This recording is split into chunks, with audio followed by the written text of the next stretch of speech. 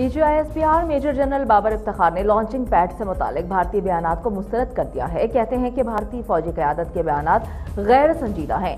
LOC पर सूरत हाल इंतहाई कशीदा है। भारत अंदरूनी मसाइल से तवज्जो हटाने के लिए खिलाफ वर्जी कर रहा है। भारत में मुसलमानों के साथ नारवा सलूक रखा जा रहा है। दुनिया से भारत में मुसलमानों पर मजालिम का नोटिस लेने का मुतालबा भी कर दिया है।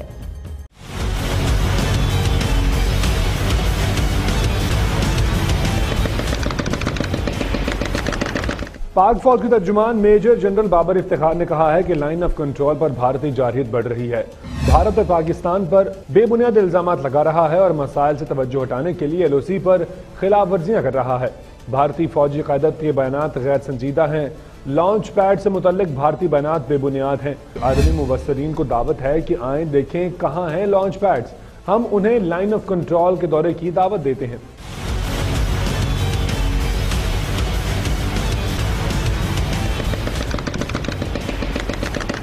DG ISPR major general Babar Iftikhar ने कहा है कि भारत में मुसलमानों के साथ नारवा सलूक रवा रखा जा रहा है। दुनिया भारत में मुसलमानों पर मजालिम का नोटिस ले। मकबूजा कश्मीर में भारतीय मजालिम से दुनिया बखूबी आगाह है। क्योंकि दूसरी जानब करतारपुर राहदारी समेत दीगर इकदाम को अकवा मुतहदा समेत पूरी दुनिया ने सराहा है।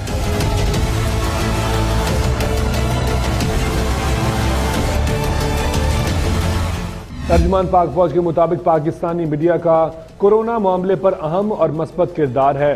अफवाज पाकिस्तान को सिविल इंतजामिया की मदद के लिए बुलाया गया है। हम उनके साथ मिलकर तमाम अजला में काम कर रहे हैं। आर्मी चीफ की हिदायत पर सिविल इंतजामिया की सपोर्ट जारी है। कोरोना के खिलाफ जंग में मिलिट्री अस्पताल भी मैसर हैं। तर्जुमान पाक फौज ने मजीद कहा कि पाक फौज में भी समाजी फासले का ख्याल रखा जा रहा है।